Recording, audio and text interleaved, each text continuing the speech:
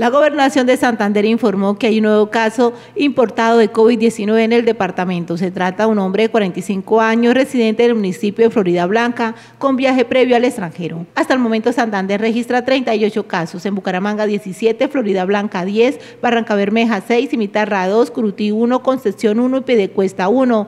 Del total de contagiados en el departamento, dos fallecieron y 26 se han recuperado de la enfermedad. La Secretaría de Salud Departamental reforzará medidas para identificar nuevos casos y está realizando la respectiva investigación de campo, es decir, contactar a aquellas personas que tuvieron vínculo estrecho con los 38 pacientes confirmados para impedir la transmisión local del virus. Igualmente, el gobernador de Santander, Mauricio Aguilar Hurtado, recuerda a los santanderianos que el gobierno nacional decidió extender hasta el 11 de mayo el periodo de cuarentena que inicialmente se había previsto terminar este 27 de abril. Sin embargo, durante este periodo extendido bajo estrictos protocolos se reactivará el sector manufacturero y la construcción.